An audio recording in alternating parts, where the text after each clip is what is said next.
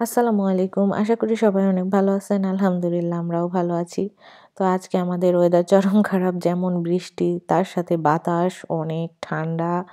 তো হচ্ছে ভাবলাম, যেহেতু হাজব্যান্ডও বাসায় আছে, সবাই আজকে বাসায় আছে, আমাদের নেবার টেবার সবাই। তো ভাবলাম একটু খিচুড়ি আর মাংস রান্না করি, বেগুন ভাজি করি, সবাই মিলে খাওয়া যাবে। তো আমি হচ্ছে এখানে দেড় কেজির বেশি, দুই কেজির কম গরু মাংস নিছি। আর হচ্ছে শুধু আদাটা ব্লেন্ড করছি, পেঁয়াজ, রসুন সব কুচি দিছি। আর এই তো গরম মশলা, তেজপাতা সব দিয়ে দিলাম।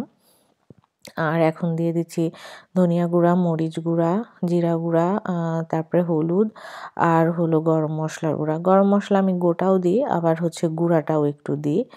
আর হচ্ছে গরম মশলা গোটা যা ঘরে থাকে সেটাই দিই। বেশি থাকলে সব আইটেম দিই, কম থাকলে কম আইটেম দিই, এরকম। আর একটু তেল দিলাম। তো মাংস হচ্ছে ভালোই চর্বি আছে এই জন্য তেল একটু কম দিলাম।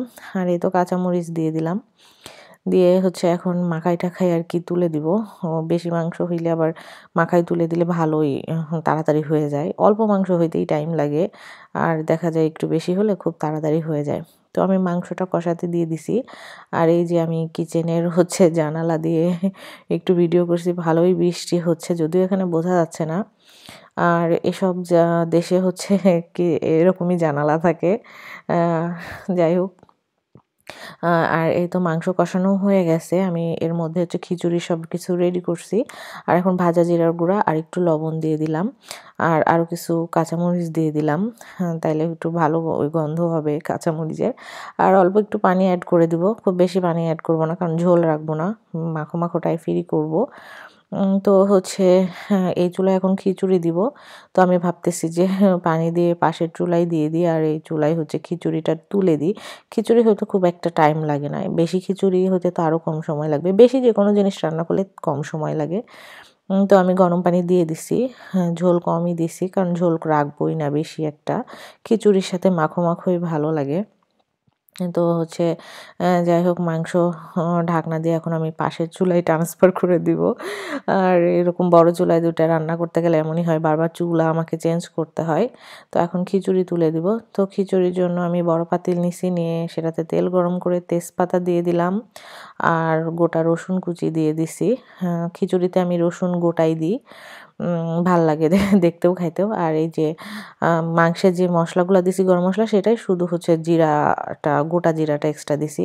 খিচুড়িতে গোটা জিরা, ফোড়ন দিলে খুবই ভালো লাগে ওই মানে তেলের উপর দিয়ে দিলে। আর এ তো এখন পেঁয়াজ দিয়ে দিচ্ছি। আজকে খিচুড়ি হচ্ছে, ভুনা খিচুড়ি করব ভেজেই রান্না করব। প্রথমে ভাবছিলাম যে, হচ্ছে মাখাই তুলে দেবো তারপরে পরে আমার হাজব্যান্ড বলল, না, ভুনা খিচুড়ি করো। ও ভুনা খিচুড়ি বেশি পছন্দ করে, আর আমার ওই যে ল্যাটকা খিচুড়ি বেশি ভালো লাগে। খিচুড়ি আমি দু, সবই খাই, আমরা দুজনেই। তো যাই হোক, আমি হচ্ছে এখানে পেঁয়াজ, রসুন সব ভালো করে লাল লাল করে ভেজে নিছি। আর এখানে হচ্ছে তিন রকম ডাল আমি অল্প অল্প করে ভিজিয়ে রাখছিলাম। মুগের ডাল তারপরে হচ্ছে ছোলার ডাল, আর আরেকটা হলো কি বলে ওটা কালাইয়ের ডাল। যদিও এখানকার কালার ডাল ভালো না, একদমই গন্ধ নেয় পচা খাইতে।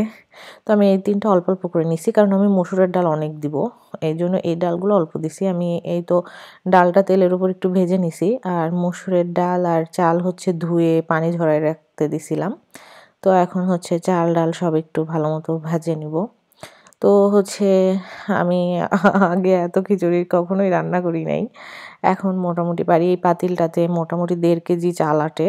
তো এখন হচ্ছে আটশো গ্রাম চাল রান্না করতেছি।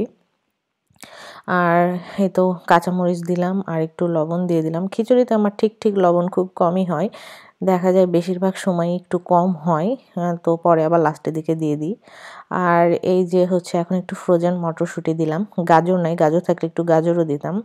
খিচুড়িতে গাজর আর মটরশুঁটি দিলে দেখতেও ভালো লাগে। তো হচ্ছে এখন দিয়ে দিলাম আদা বাটা। মাংসের যে আদা বাটাটা করছিলাম তখন বেশি করে করছিলাম আর খিচুড়ির জন্য একটু রেখে দিছিলাম। তো হচ্ছে আদা বাটা আমি সবসময় দিই না। যদি ব্লেন্ড করা থাকে বা মাংসর জন্য থাকে তাইলে দিই। আর এই তো এখন হচ্ছে সব শুকনা মশলাগুলো দিয়ে দিলাম। ধনিয়া গুঁড়া, জিরা গুঁড়া, হলুদ গুঁড়া, তারপরে গরম মশলার গুঁড়া তারপরে হচ্ছে জিরা গুঁড়া সব কিছু আর কি দিয়ে দিছি।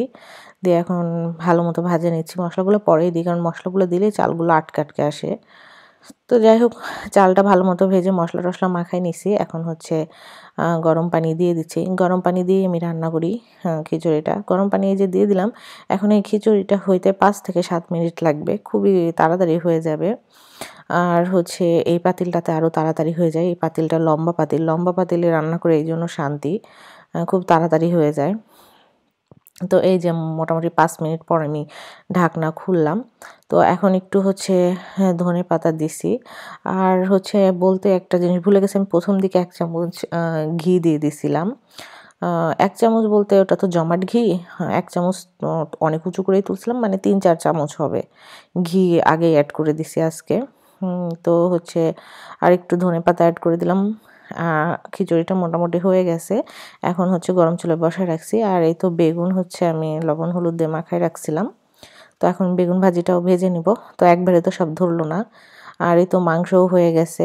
এখন বেগুন ভাজিটা হয়ে গেলেই হয়ে যায়।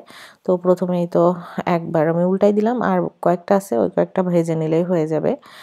খিচুড়ির সাথে বেগুন ভাজি ভালোই লাগে। আমার হাজব্যান্ডও খুব লাইক করে।